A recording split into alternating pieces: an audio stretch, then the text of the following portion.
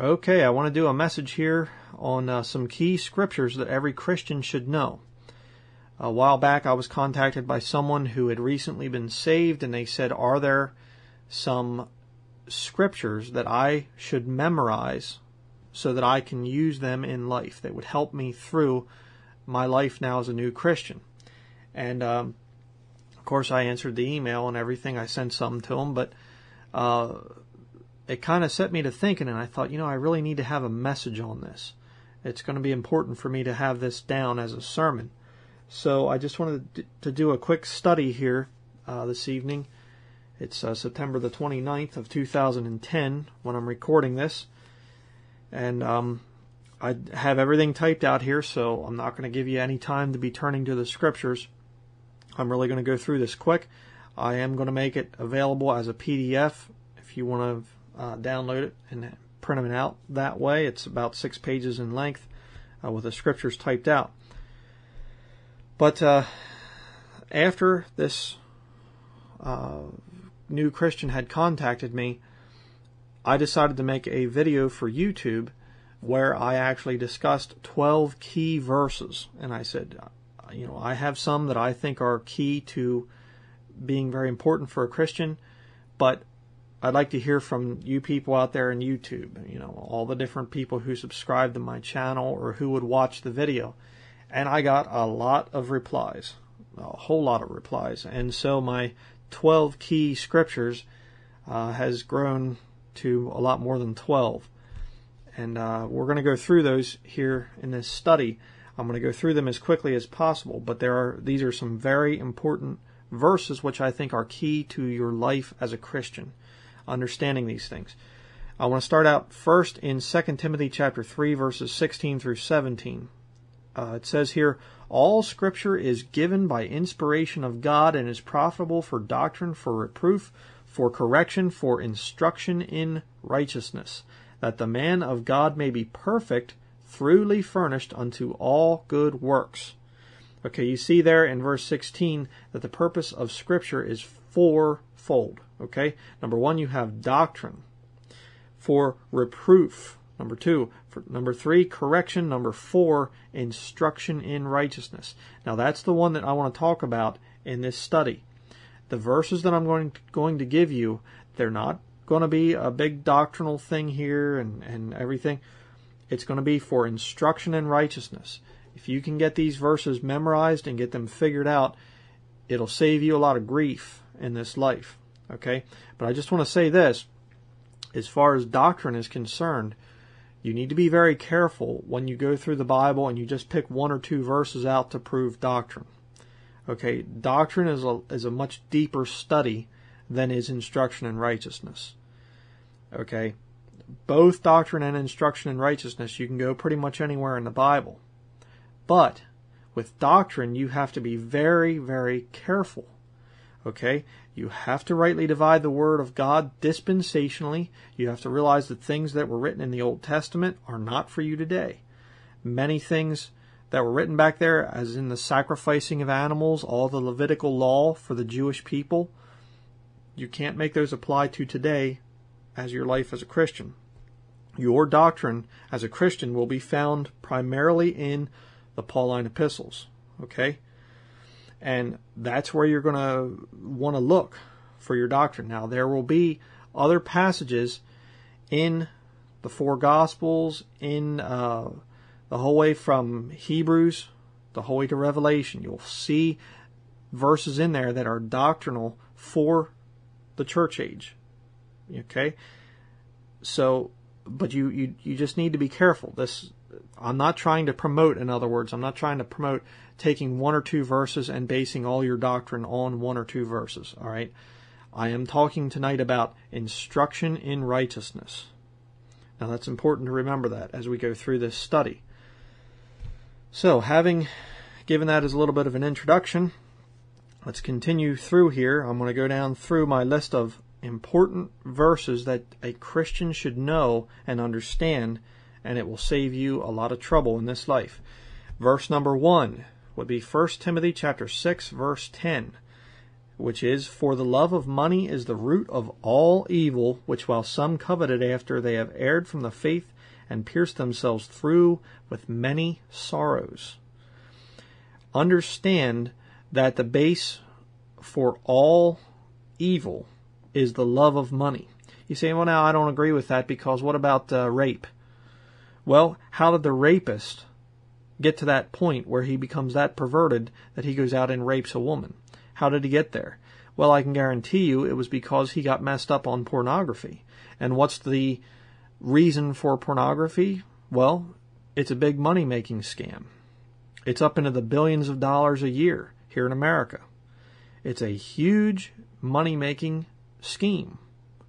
Okay? So you see, love of money is the root of all evil. Okay? And, and you can get down through the list. We're not going to cover a lot of detail, but if you can get that thing figured out, if you want to see where the center for evil is, it will always be centered around people trying to make a lot of money. What's the purpose in the drug trade? Lots of money. Uh, what's the purpose in wars? A lot of money. Uh, I did a message not too long ago about the military industrial complex. Uh, the reason that we have wars is to make people rich. Okay, you need to get that stuff figured out. So, number one, you have 1 Timothy 6.10. Understand that the love of money is the root of all evil.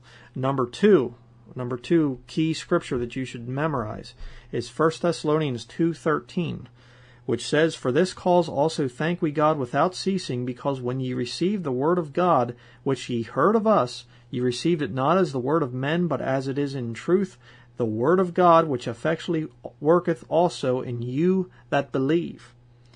Now you need to understand from that verse that God will not bless you in the reading of his word, and he will not enable you to understand his word until you begin to believe what you are reading. If you approach the King James Bible with a critical spirit and say, I think that this, this is a poor translation, God will never reveal anything to you other than what you, you know, you'll just parrot what you've been taught in your church or your seminary. God will never speak to you if you come with an unbelieving spirit. Okay? You need to approach the Word of God, the King James Bible, you need to approach it believing that it is God's perfect Word. Okay, that's also very important. Number three, the third key scripture, Ephesians chapter 6, verse 12, which says, For we wrestle not against flesh and blood, but against principalities, against powers, against the rulers of the darkness of this world, against spiritual wickedness in high places. Now, how many Christians are guilty of not understanding that? They totally forget themselves and they, they don't realize the Bible says that Satan is the God of this world. 2 Corinthians 4 4 it says, In whom the God of this world hath blinded the minds of them which believe not. Satan is the God of this world. He is the enemy. Not a Democrat, not a Republican, not the Council on Foreign Relations or the Illuminati or the Rockefellers or the Rothschilds or all this stuff. They're people. They all need to be saved just like anybody else. Now, will they be? No, probably not. Okay? But the point is, they're people. They're flesh and blood. Our battle is spiritual. Okay? The, if if you would take out every member of the Illuminati and all the New World Order people and everything, Satan would go and he would find a whole group of new people to take their place. Within 24 hours, you'd have the same problem. Why? Because we don't wrestle against flesh and blood. Keep that in mind. Okay, the fourth key scripture, Ephesians 2 8 and 9. For by grace are ye saved through faith, and that not of yourselves, it is the gift of God, not of works, lest any man should boast. Okay, there's a few things you need to understand from that passage. Okay, first of all, this is church age doctrine. Okay, it does not apply in the future after the body of Christ leaves. I just wanted to say that there. But salvation right now is based on faith in the finished work of Jesus Christ on the cross and the blood that he shed. It is a gift of God. Our salvation is what God has done, not what we are doing. It is not of works. Now, the majority of cults, the vast majority of cults, are about works, good works. You know why? Because if you are working your way to heaven, then you can be controlled. They can control you. They can tell you, well, you know, I don't know if you're going to heaven for sure. You're going to have to do more good works. It's also a good way for you to, for somebody, for a false prophet to get your money. Okay? So get that thing straightened out in your mind too. Uh, key scripture number five, 2 Timothy 2.15. I referred to this earlier. Study to show thyself approved unto God, a workman that needeth not to be ashamed, rightly dividing the word of truth. Okay, it's a command for you to study the word of God. And how do you do it? By rightly dividing the word of truth. Obviously, you're never going to go to church carrying a little cage with turtle doves in it and say, well, you know, it's my sin offering. Uh, no, that doesn't apply to today. Why? Well, because we're in a different dispensation. All right? And there's a lot more. Listen to some of the, the message on uh, non dispensational Christian contradictions. Okay, if you want more information on that. Okay, now number six. Number this number six key scripture. It says, Ye adulterers and adulteresses, know ye not that the friendship of the world is enmity with God? Whosoever therefore will be a friend of the world is the enemy of God. Now, that one is one of the more important ones. If you can get that thing figured out, you will not be deceived as quickly by some of these people out there. Okay? You see some leader, quote unquote leader, in Christianity how are they accepted or rejected by the world? Well, you have a man like Billy Graham who's loved by the world. And then you find out that Billy Graham has turned his back on Christians in Russia and China and actually had house church Christians arrested in those countries. And he's just, Billy Graham is a very wicked man. Okay, and do some study on it. He says he has publicly stated on Robert Schuller's program that there are many paths to heaven, including Muslims and Catholics. Okay, Billy Graham's not a good man. He's a false prophet. And all you need to know is James 4 4. And you look at him and you say, wait a second, this guy's getting network television specials. And they all respect him. He's not the friend of God, he's the enemy of God. It says there, a friend of the world is the enemy of God. I'll give you one more example. Amy Grant, another one. She sings national anthems at big sporting events. They give her her own TV show. The world loves her.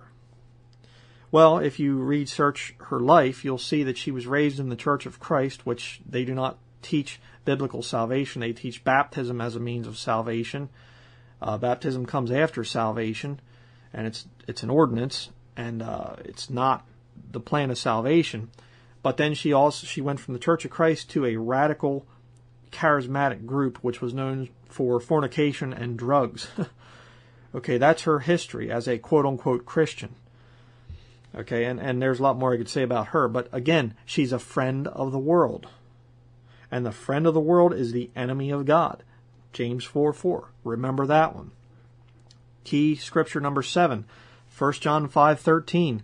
These things have I written unto you that believe on the name of the Son of God, that ye may know that ye have eternal life, and that ye may believe on the name of the Son of God.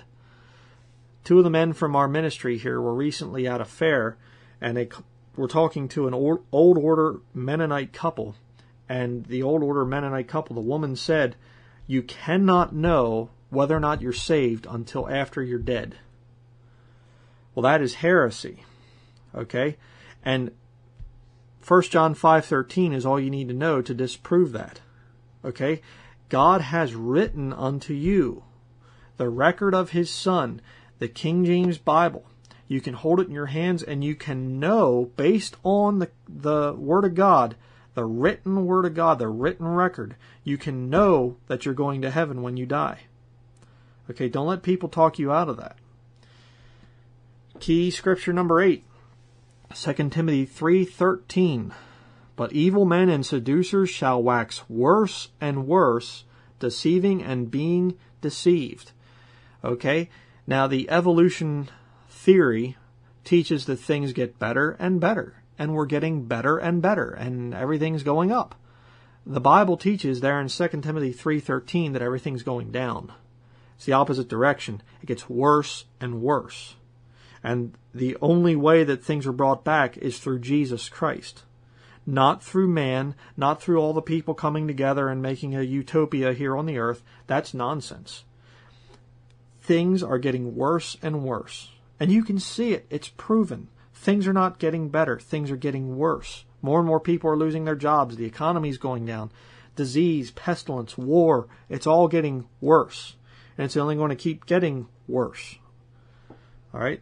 Again, don't be deceived by people telling you that good times are just around the corner and that man is bringing it in. That is a lie. Uh, key scripture number 9, Romans 12, 2. And be not conformed to this world, but be ye transformed by the renewing of your mind, that ye may prove what is that good and acceptable and perfect will of God. Okay? as a Christian, you need to be a non-conformist. Okay, there was there's actually been groups of people that have been like that. That doesn't mean that you have to do some kind of physical thing and really make a show and and act strange or something like that. No. What it means is you cannot be concerned with the styles and with what is popular in this world.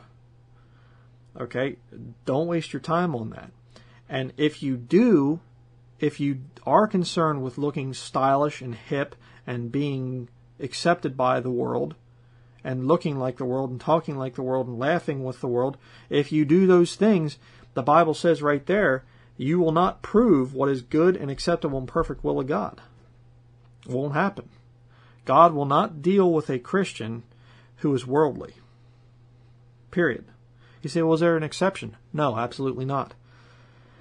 Uh, key scripture number 10, 1 Timothy 2 5. For there is one God and one mediator between God and men, the man Christ Jesus. Now, our pastor, uh, Pastor Jesse Deleski, he just did a message here uh, this past Sunday on bishops and deacons. There, are, there is an office there, okay? But all they are supposed to do is be there to make sure everything runs smoothly, to take the oversight, and to teach. But a bishop and a deacon, anybody in church ministry, should always point a Christian to Jesus Christ as the solution for all of your problems. If I start saying you need to come to me, you need to confess your sins to me, you need to, you know, pray to me, that would be that would be proof that I'd be a false prophet. Okay? Jesus Christ is the one mediator between God and man. You don't need anybody else. In the long run, you don't need anyone but Jesus Christ. Okay? Always keep that in mind. Hebrews chapter 11 verse 1 is the next key scripture. It says, Now faith is the substance of things hoped for, evidence of things not seen. Okay? The Bible says in Romans 1:17, Galatians 3:11 and Hebrews 10:38, "The just shall live by faith."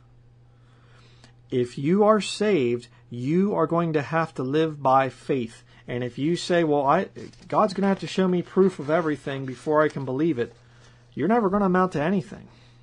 As a Christian, you have to live by faith. Okay? Hebrews 11 verse 6, by the way, um, this isn't the next key scripture, but this is another important one. It says, But without faith it is impossible to please him. For he that cometh to God must believe that he is, and that he is a rewarder of them that diligently seek him. Without faith it is impossible to please him. Remember that. You have to live by faith. There's plenty of proof, there's lots of research and everything to prove that Christianity is the one true religion, the one true faith. But at the end of the day, you are not going to be able to answer everybody's questions, everybody's attacks. You will have to live by faith. Okay? That's just the way it is. Uh, key scripture number 12. 1 Timothy 1.15. This is a faithful saying and worthy of all acceptation. All acceptation. That means everybody. That Christ Jesus came into the world to save sinners, of whom I am chief. Okay? Now, the number one group of people that are headed for hell will always be self righteous people. That's the reason the majority go to hell. Are you a bad person? Are you a sinner? Oh, I'm not so bad. I've never killed anybody. I, you know, that's what they'll say. You need to remember and keep it in mind that you are always going to be a sinner.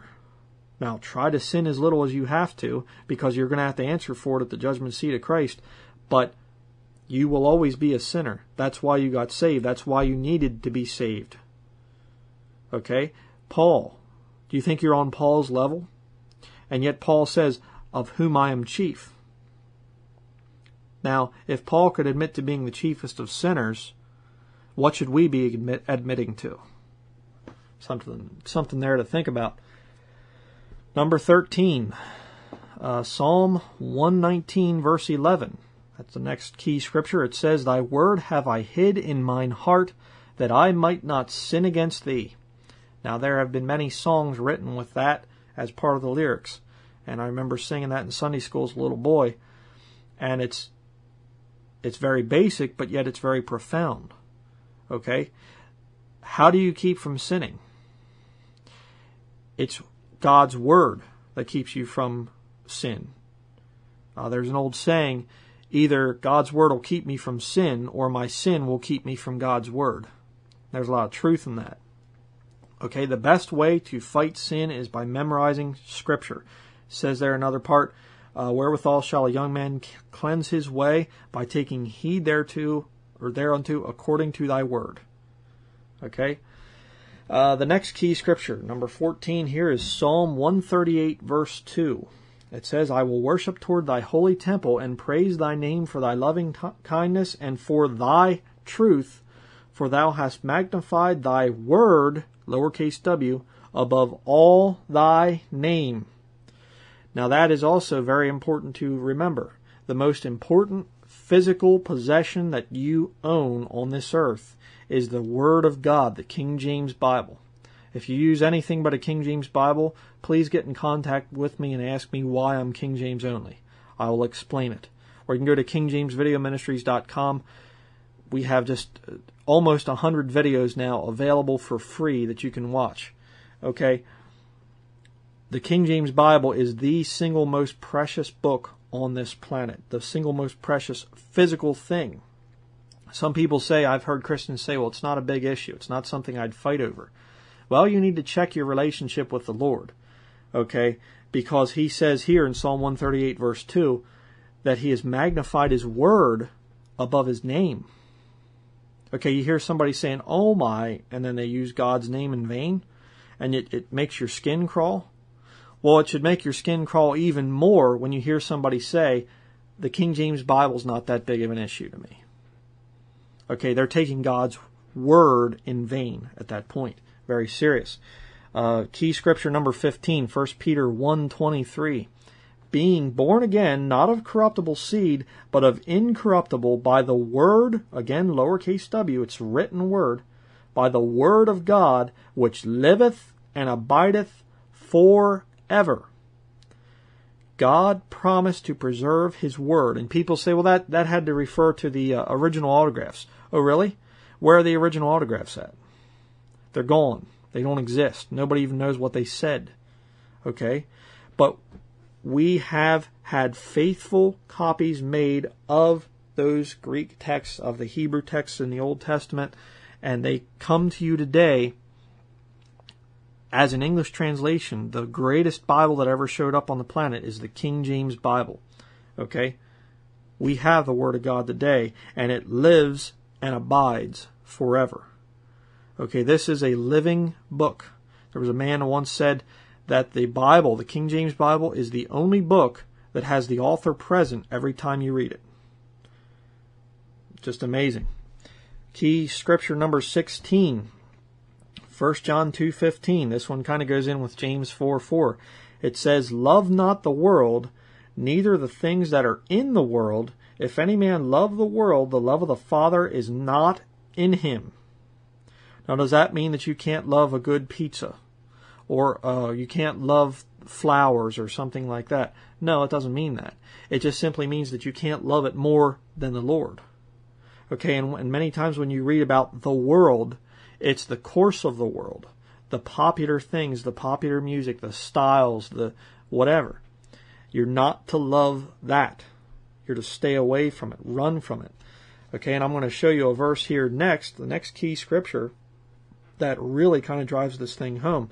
Number 17 is 1 Thessalonians 5:22. It's a very short one, and this is an important one to, to have memorized. It says, "Abstain from all appearance of evil." In other words, you're not only supposed to stay away from evil, but even the appearance of evil. Okay? And that's why a Christian should stay away from the filthy, wicked magazines, television shows, and movies. You say, well, they're just pretend, it's just pretend, but it's the appearance of evil. And let me tell you something. There are many times that you will watch something filthy and that thing will still be in your mind 10 years down the road. You'll still remember that filthy thing that you watched. And, and dear Christian out there, I want to warn you specifically about pornography. Okay, as a younger man, I looked at the stuff. I looked at dirty magazines, and you know, I'd be with friends, and hey, look at this. Oh boy, I can still see that garbage in my mind. It doesn't go away. I wish I would have abstained from all appearance of evil. Okay, I'm clean from it now. Praise the Lord. But I'll tell you what, that stuff stays with you. And I used to listen to a lot of secular heavy metal, and I can tell you the lyrics to most of those songs. And back then I said, uh, you know, I, I don't listen to the lyrics. I only li- I only like it for the music. Yeah, it's a lie. Okay, the lyrics were going into my head, and television, magazines, movies, they're even worse because it's not only words, it's not only music, but it's also images. And the Bible tells you abstain from all appearance of evil. Okay? Another thing that's very important. Okay, moving on to the next one. Key verse, key scripture number 18 is Matthew chapter 10 verse 36. Now I'm going to read verses 34 through 37 to get in context here. But it says, Think not that I am come to send peace on earth. I came not to send peace, but a sword. For I am come to set a man at variance against his father, and the daughter against her mother, and the daughter in law against her mother in law. Here's verse 36 And a man's foes shall be they of his own household. Verse 37 He that loveth father or mother more than me is not worthy of me, and he that loveth son or daughter more than me is not worthy of me. The fact of the matter is, friend, if you decide to obey the truth and submit to the truth, no matter what it costs, you will have family members and friends turn against you.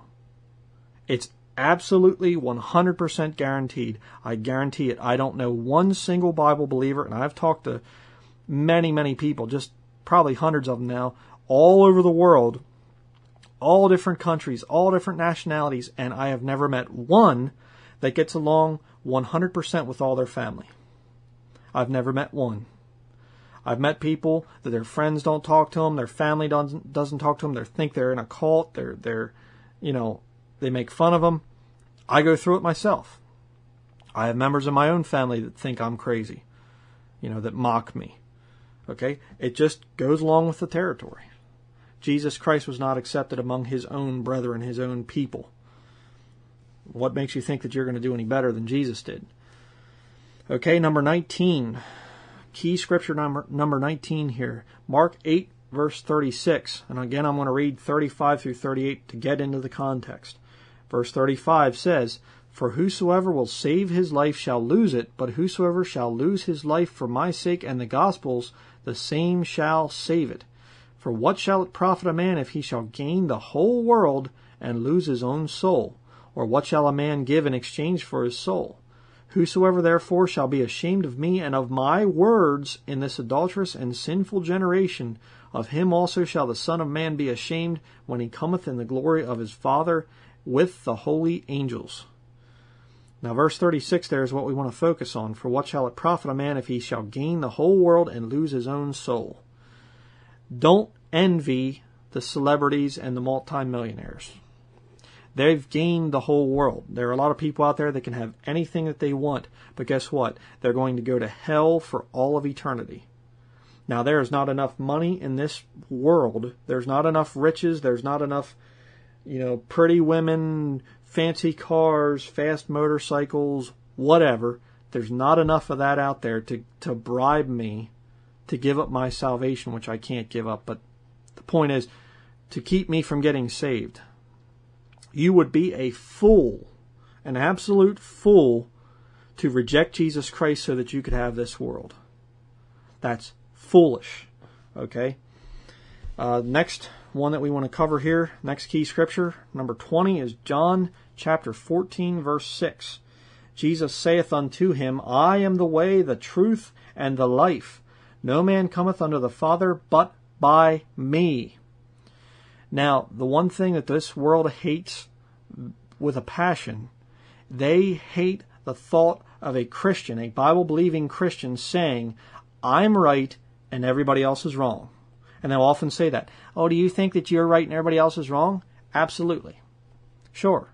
Jesus Christ is the only way into heaven. All the other systems, all other religious systems are false. Every single one of them. There's no other way to heaven. Okay, Acts chapter 4 verse 12 says, Neither is there salvation in any other, for there is none other name under heaven given among men whereby we must be saved. And his name is Jesus, okay? It's not that people are trying to get away from Jesus. They're they're saying Yeshua, Yeshua, excuse me. They're saying Yeshua, the Messiah, and all this stuff. It's Jesus Christ, the Lord Jesus Christ. That's the name. Okay? If you want to upset people, go into a crowd and say, uh, I'm here to testify for Yeshua. Most of the people look at you kind of like, huh? But you go in and say, I'd like to talk to you today about the Lord Jesus Christ. You will see people looking at the ground and they'll, they'll try to get out of there. Be like setting a bomb off. Okay? And, and of course, I mean spiritually there. I'm not, I'm not advocating violence.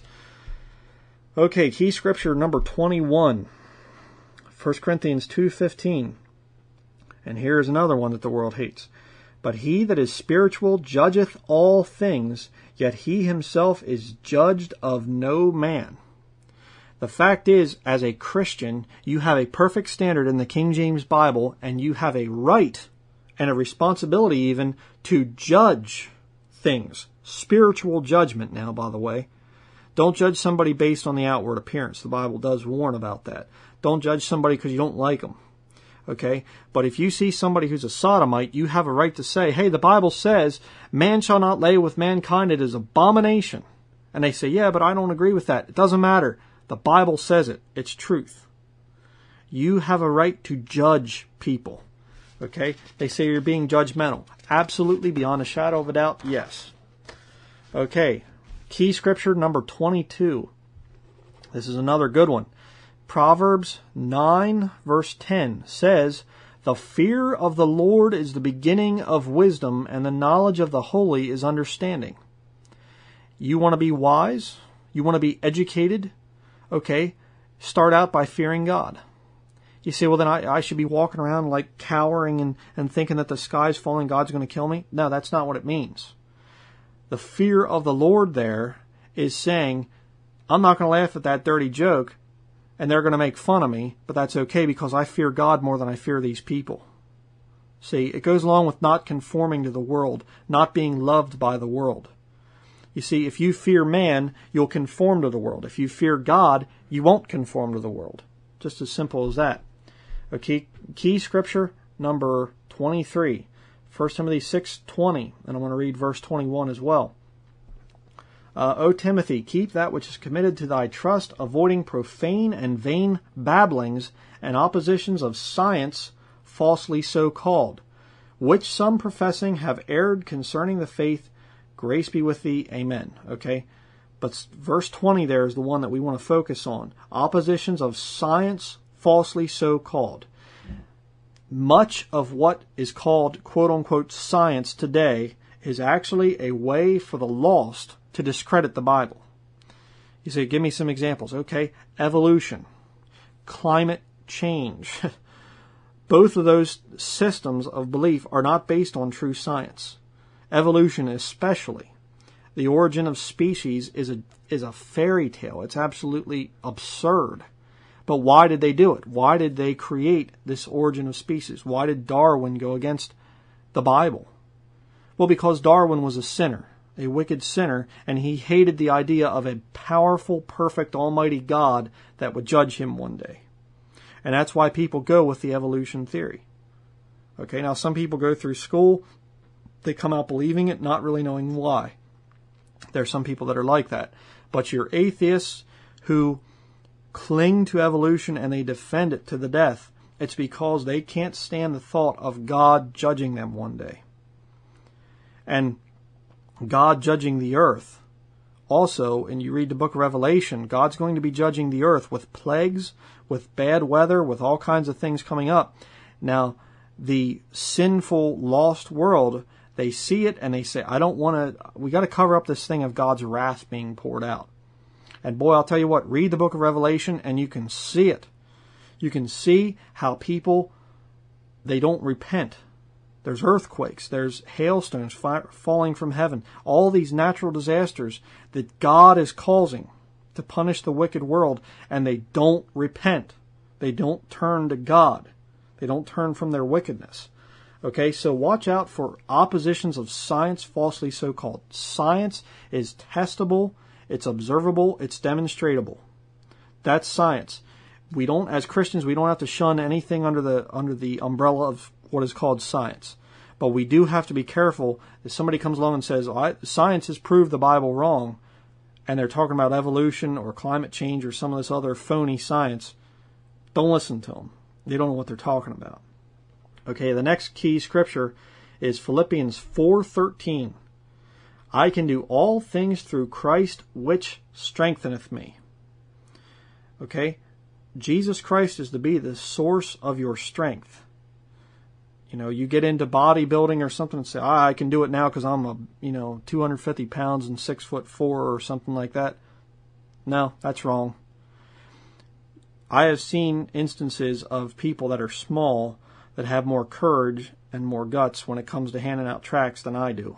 And I am about six foot four and around 200 pounds. So it has nothing to do with it. Okay? If the Lord wants you to do something, the Bible says there in Philippians 4:13 that you can do all things through Christ, which strengtheneth me. Keep that in mind. If the Lord has a work for you to do and you know that he wants you to do that, you can do it through the power of Jesus Christ. Uh, also very important and very convicting, I might add. Uh, key verse number 25, Romans 8:28. It says here, "And we know that all things work together for good to them that love God, to them who are the called according to his purpose." If you are in the will of God and you love the Lord and you love his word and you're doing his work, whatever happens to you, it will work together for good. Okay? It might not seem good when it happens. I know I've had situations in my past that I, that at the time it was horrible. It was bad, but I realized later on, years later, that it was working together for good.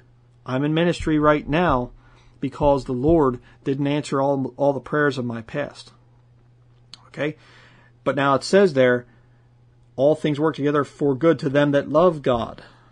Now, if you are being disobe- disobedient and the Lord punishes you, He corrects you, He chastens you, that's not the same thing. Okay, it's not working together. Well, it is working together for good still because punishment is good. That shows the Lord loves you and He's concerned for you.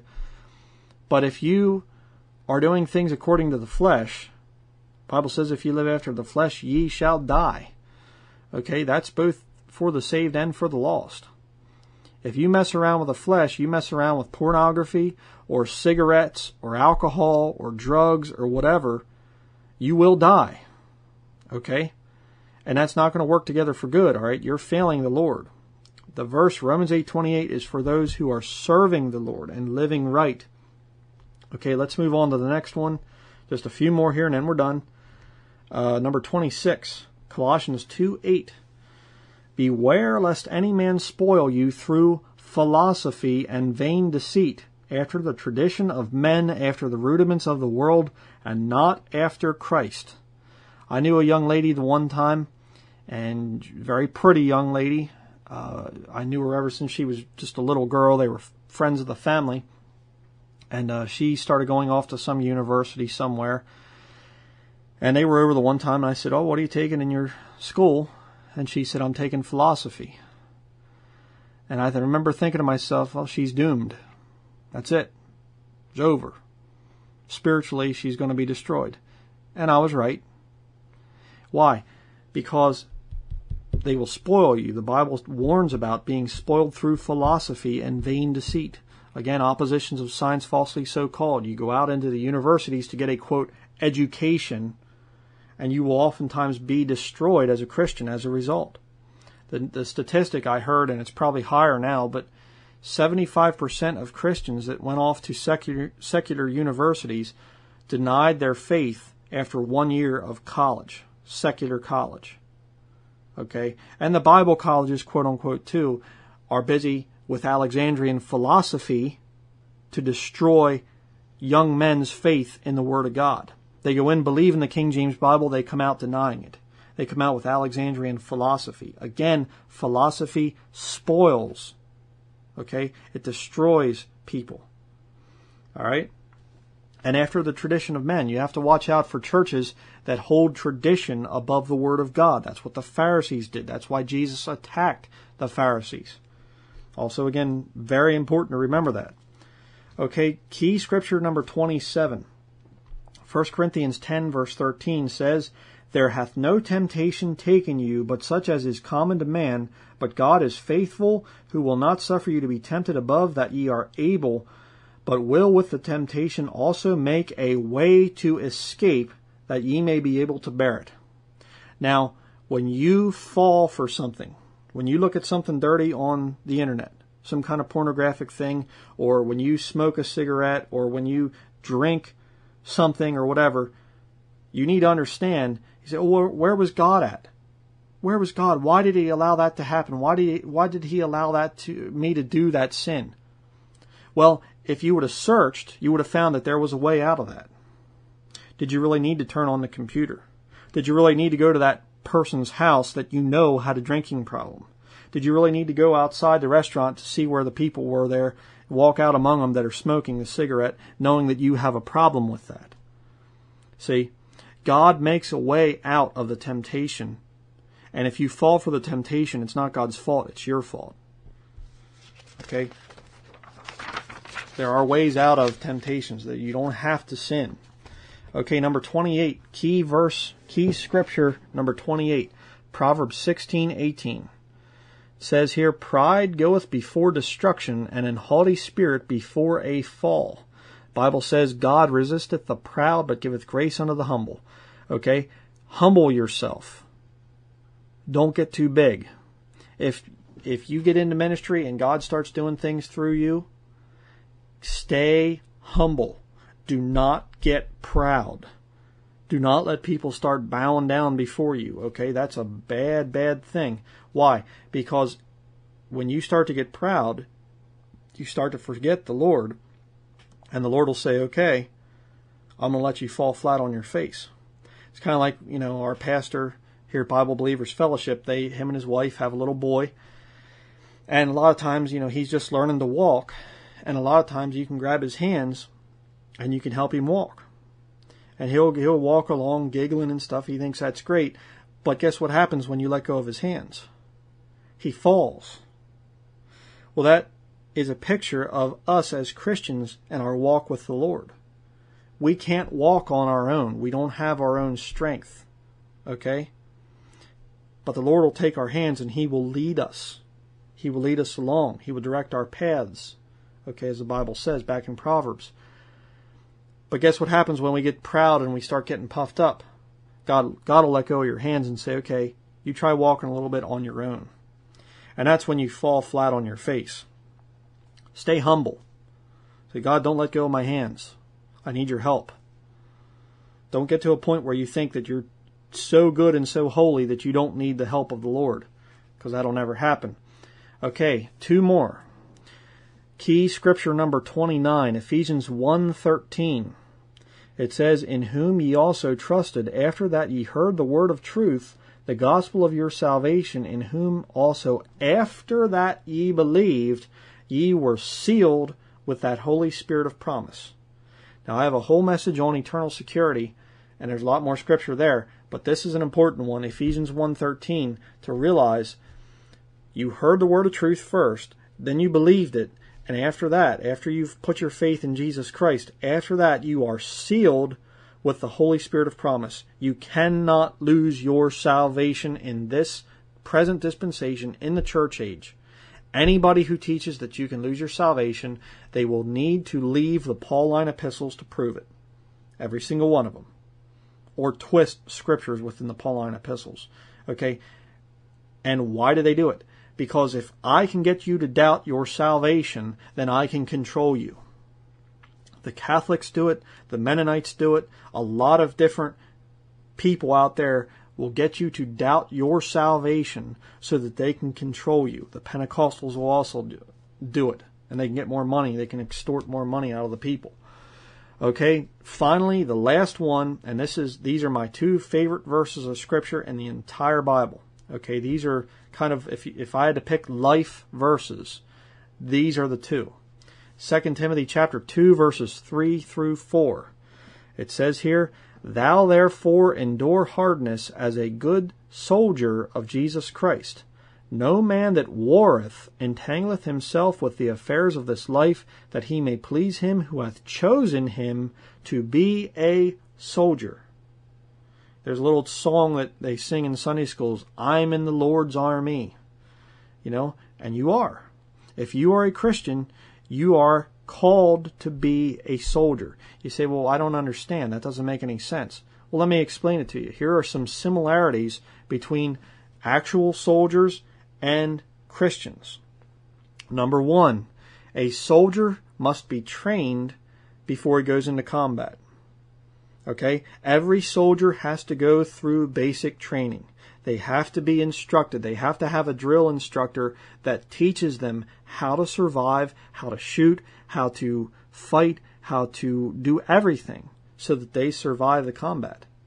And unfortunately, in Christianity, there are a lot of soldiers that don't have the proper training. And I'm not talking about seminary, I'm not talking about PhDs and THDs. That stuff's not even scriptural. What I'm talking about is there are a lot of young men that get all puffed up and they go off and they become bishops, they become pastors, and they are novices. Okay, I personally believe that a young man ought to wait till he's about 30 years old before he gets into ministry. I mean, the Lord Jesus Christ didn't start his earthly ministry till he was 30 years old. Why would you do it any differently than that? Why do you think you're more qualified than the Lord Jesus Christ and God manifest in the flesh? I think the Lord did that as an example that we should follow. Now, in some rare cases, maybe, you know, you got some guy in his mid to late 20s who's really done a lot of research, done a lot of study for the Lord. But part of it is you need more than head knowledge. You need life application. You need to study. You need to learn things. You need to go through some experiences for the Lord. And if you don't, you get out into ministry as a young man, a young whippersnapper, as they say, in his early 20s or something, or even late teens. I've heard of preachers in their teens. There's no such thing as a godly teenage preacher, okay? And what, what happens is they get out there into the battlefield and they're not trained specifically for all the different aspects that you need to know when you get into ministry. And as a result, they get killed on the battlefield. And they fall into heresy because they did not take the time to study. Because, see, when you get into ministry, you are not going to have time to sit down and read books and books and watch videos and listen to audio tapes and good preaching. When you get into ministry, you get very, very busy. Okay? Number two, a soldier that's going to war expects that they will be shot at. Okay, if you're a soldier and they give you a call and they say, We're going to be shipping you to Afghanistan, you're not going to say, Oh, this is going to be great. This will be wonderful. What a fun time I have ahead of me. No, you're going to go over there and you're going to expect that the enemy is going to be shooting at you. Now, as a Christian, when you get saved and you want to learn the truth and you want to stand for the truth, expect to be shot at by the lost world. And I mean spiritually, but even sometimes physically. Uh, Christians have been shot for their witness, for their stand. But what I'm talking mostly about is spiritual. You will be attacked in the workplace. You will be attacked in public. You will be attacked in your own home. Okay? You will be attacked as a good soldier for Jesus Christ. Number three, a soldier knows that they will have to go through rough times. Okay? Endure hardness. It says there in 2 Timothy chapter 2 verse 3. You are to endure hardness. Your world, your treasures that you have are not here on this earth. They're up in heaven. Okay? Um, number four, a soldier fights. If you are a Christian, God's called you to fight for His word. He's called you to earnestly contend for the faith. Number five, a soldier knows the value of a good weapon. A soldier does not want to go into battle with an unproven rifle. Okay? You get to know your rifle. You get to know your weapon that you carry into battle. And likewise, in like manner, you better know your King James Bible before you go into battle. And you better have that thing, you better keep it nice and sharp by reading it every day. And you can study about the other pieces of the armor, Christian armor, there in Ephesians chapter 6. But your sword is your offensive weapon, and you got to keep that thing in good condition. Okay? Uh, number six, a soldier who joins the enemy is a traitor. Okay? And there are a lot of professing Christians out there that have gone over to the enemy's side. They look like the world, they act like the world, they laugh at the world's jokes. They forsake the King James Bible. They forsake the hymns that bring glory to the Lord, the old fashioned hymns. They are traitors to the cause. As a soldier, you are to stand for the truth. Having done all to stand. It says about there in Ephesians chapter 6. Okay, I, I kind of went to the next point. Uh, point number seven a soldier must stand their ground. Okay, you are to stand your ground. Uh, over and over and over again. Stand fast. You are to stand. Stand, stand, stand. Don't back down. Okay? Um, Number eight, a soldier must be vigilant. 1 Peter 5 8 talks about the devil walking about, seeking whom he may devour. Um, and it says, Be sober, be vigilant. If you're going out into battle, you don't want to be drunk. You want to be sober. You want to be vigilant. Okay? And it's interesting because I actually heard from a, a, real soldier the one time I was in Vietnam, and he said the best time to attack the enemy was in the morning and in the evening. Because in the morning they're just waking up, in the evening they're getting tired. They're not vigilant. See? They're not really at their full alert status. Okay? And as a Christian, there are times when you will get lazy and you'll get away from the Word of God and whatever, and you'll start you know, getting a little bit carnal, that's when the devil's going to attack you. Okay? You need to be vigilant. You have to watch out. Be sober. Be vigilant. Number nine, a soldier considers it an honor to die on the battlefield. Oh, come on, that's a horrible one. Yeah, but I'll tell you what, when you get into the process of sanctification, where you start to give up things for the Lord, where you start to say, okay, Lord, I want to spend my time serving you, it will come up at some point in time. I believe the Lord will say to you, Will you die for me? Would you die in my cause, fighting in my cause? You know, you read the book of Acts where Peter is, and, you know, a couple of the other guys, they're beaten for the Lord and they go out and they rejoice. Can you say that you're at that point? I have to ask myself that question. Can I say that I'm at that point? That's tough to get to that point in your mind. Okay? But when you realize what the battle's all about, you realize, hey, you know, Paul talked about, I will gladly spend and be spent, you know, essentially for this cause.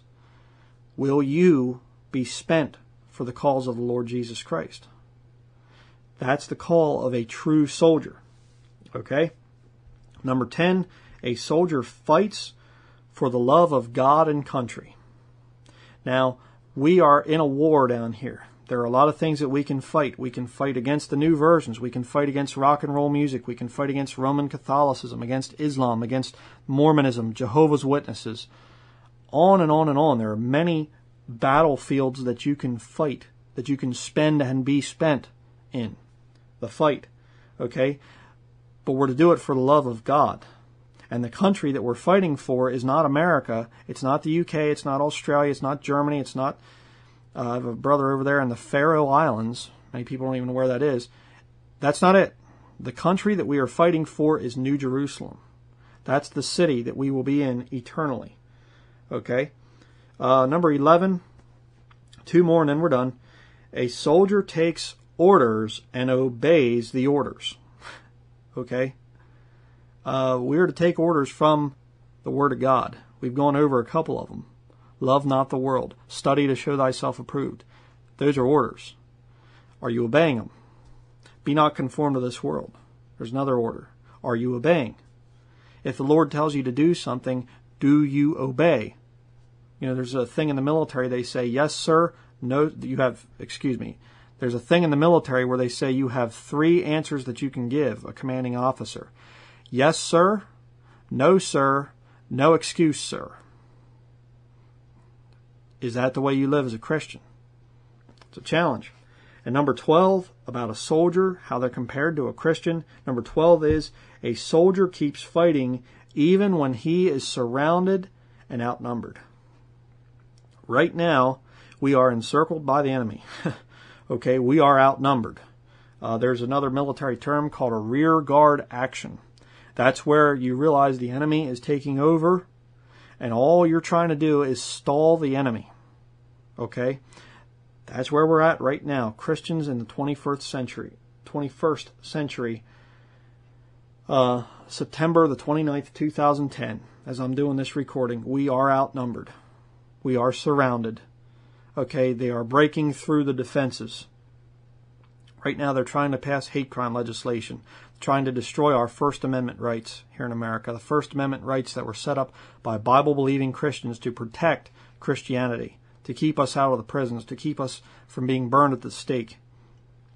And they're breaking through those defenses. Okay? We're to hold the fort. We're to stand our ground. Earnestly contend for the faith. Okay? You are called to be a soldier. You are in a battle, whether you like it or not. So that's going to be it for this study. Uh, I just wanted to put that thing together because there are some important scriptures that you need to know for instruction in righteousness. Get these verses, memorize them, know how to turn to them. A lot of times in my messages, you're going to hear me quoting these scriptures because they're foundational to the way we as Christians are supposed to live. They are foundational to our relationship to the world to our relationship to the Lord, even. So, those are important scriptures to know. Spend time in God's Word. That's the most important thing. The most important physical possession you have on this planet is the King James Bible for the English speaking world.